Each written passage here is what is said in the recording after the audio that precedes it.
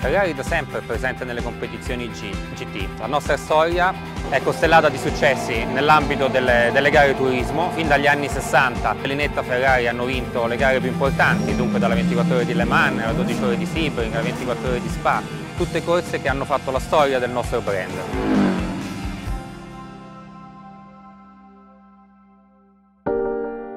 We are in such a competitive level that every detail nowadays is taken to a top level. So if there is a, any, any reason or any detail that we can improve, either in the car, the racetrack, or the development or designing processes, everything is advantage.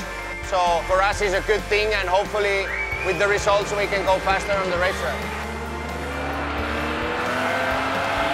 E come sempre cerchiamo di associare il nostro brand con partner che sono altrettanto leader loro, nei loro ambiti.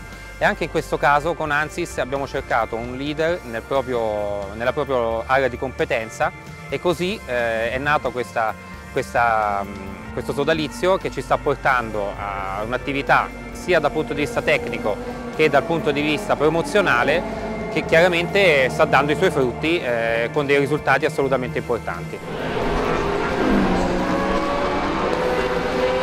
We decided to use ANSYS because only in ANSYS uh, we found at the same time velocity, accuracy and uh, reliability. Without the ANSYS uh, uh, we cannot uh, push so far the aero development uh, getting such performance in a such small time frame. But it's not only the ANSYS performance but also the support we have that permit us to be so successful.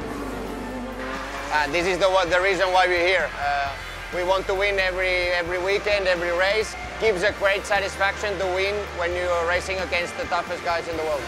In the race world, time is tight, uh, and so only ANSYS scalability on HPC systems uh, allow us to run multiply simulation at the same time. Simulation before the race, after the race, and also from that on we're just going to improve every time we go in other circuits. And we will know where we were going, what is going to happen with the simulation. Thanks to simulation, the aerodynamicist has all the information about the aerofield, pressure contours, uh, flow visualization, path lines and so on. Based on this information, we can take the best decision to speed up the process and to get the best results. Well, I know uh, ANSYS is doing a fantastic job uh, on the development of the in the simulation and our car performance is definitely better. They did a fantastic job with Ferrari. We had a big improvement, so it's good combination.